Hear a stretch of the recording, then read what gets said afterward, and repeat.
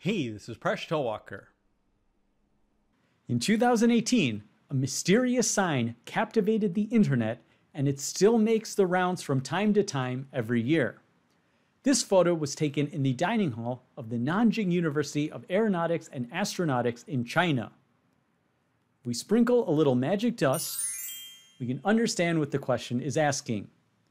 Students had to solve the following integral and take the first eight digits of the result just to get the Wi Fi password.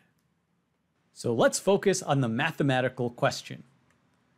The problem is to compute the integral from minus 2 to 2 of x cubed times the cosine of x over 2 plus 1 half.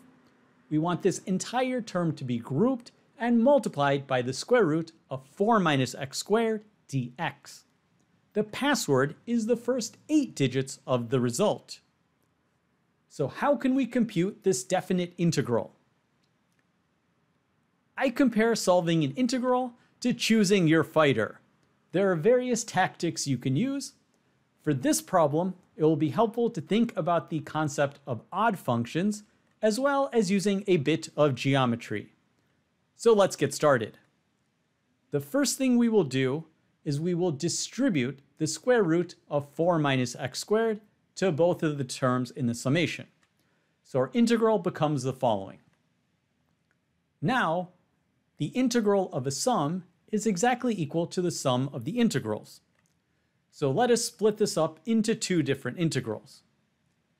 Now, from the second integral, we can also pull out this factor of 1 half. So from here, let's continue our analysis. Let's first try to solve the integral on the left. If we sketch a graph of the integrand, we would end up with the following result. And it looks like this function is symmetric about the origin.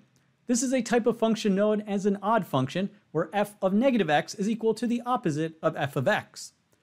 If we have a symmetric function, and we are symmetrically having an integral about the origin, then we can see that the area to the left of the origin, in this case negative area, will exactly cancel out with the area to the right of the origin, in this case positive.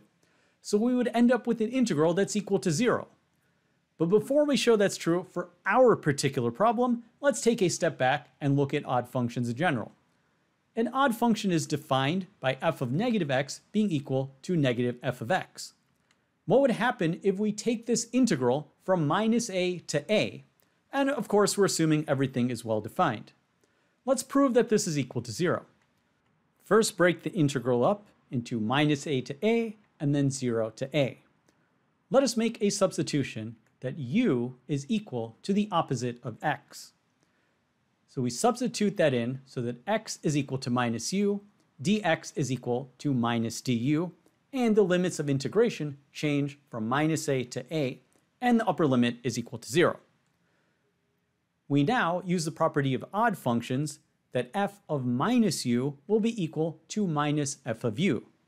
So the minus from the f of u will cancel with the minus du. From here, we just need to flip this integral. That will flip the sign. And finally, minus f of u du, u is just a placeholder variable, so we will change that with x. And now we bring the sum of these integrals to be the integral of a sum, and minus f of x plus f of x will vanish to be equal to zero. So this entire integral will vanish and it will be equal to zero. So the integral of an odd function from minus a to a will of course be equal to zero. What remains to show is that the integral of what we have will be a function that's odd. So let's say f of x is equal to that integrand what would happen if we substitute in minus x? Well, if we have minus x cubed, that is going to work out to be the opposite of x cubed. The square of the opposite of x is equal to x squared. And when you have cosine of a negative angle, it's the same thing as the cosine of the angle. So only one of these negatives is going to remain, and therefore f of minus x is exactly equal to minus f of x. So we do have an odd function. So the integral of this odd function from negative 2 to 2 is going to vanish and it's going to be equal to 0. So we've eliminated one entire integral from this calculation. all that remains is to calculate 1 half times the integral from minus 2 to 2 of the square root of 4 minus x squared dx. But let's graph the square root of 4 minus x squared. So we start out, and it's going to end up being the semicircle, which has a radius that's equal to 2. We just want the area of this semicircle. So this integral can exactly be evaluated to be half the area of a semicircle with a radius equal to 2.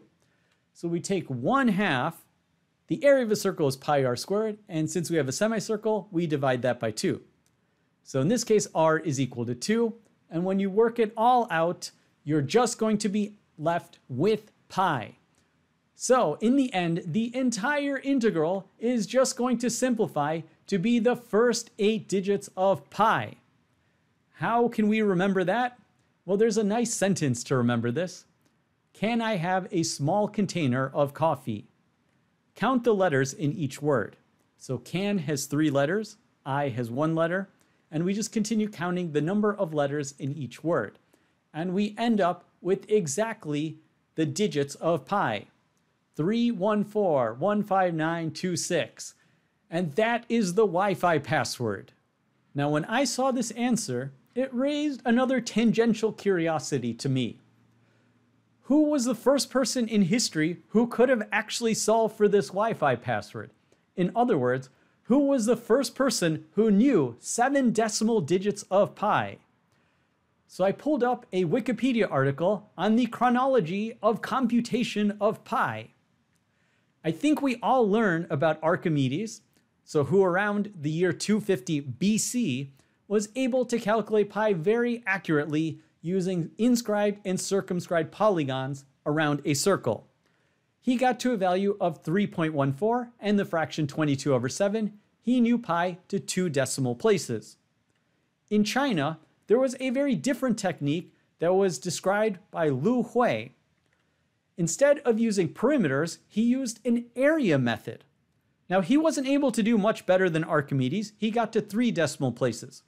But this very technique was picked up by Zu Chongzhi around 200 years later in the year 480, and he was able to get to seven decimal places of pi using this method, he also wished to come up with a fractional approximation to pi, and he discovered the approximation 355 over 113, which is tremendously accurate. And if you've never heard about this story, you should definitely check out my video, The Mysterious Value of Pi That You Never Learned in School. Now, I was wondering, how accurate was Zu Chongzhi's method? Did he come up with the answer and then someone just broke the method right away? Well, not at all if we take a look at the chronology, we see the next person who was better than Zu Chongzhi happened nearly a thousand years later. So Zu Chongzhi's approximation was the world's most accurate for about a thousand years, and it was finally broken by Madhava, who discovered the infinite power series, and that completely changed how pi would be calculated forevermore. Now, you may have heard about Madhava there's a video by Veritasium that actually says that Newton is the one who changed the game on pi, and he's the one who came up with the infinite series. But Veritasium did leave a comment that also shout out to the Indian mathematician and astronomer Madhava, who in the 14th century had a different infinite series for pi that converged as fast as Newton. Now, it's just me. If someone discovers something and then it's discovered 200 years later, I wouldn't consider the second discovery to be a discovery I consider discoveries to be the first person who discovers it, but in any case, it is well accepted that Madhava is the one who discovered the infinite power series. So I think it's quite interesting that in China, they had a Wi Fi password that depended on knowing seven decimal places of pi. Perhaps some of the students learned this interesting history, but I'm glad that it gave us a chance to talk about it. Pi works in mysterious ways. Thanks for making us one of the best communities on YouTube. See you next episode of Mind Your Decisions, where we solve the world's problems, one video at a time.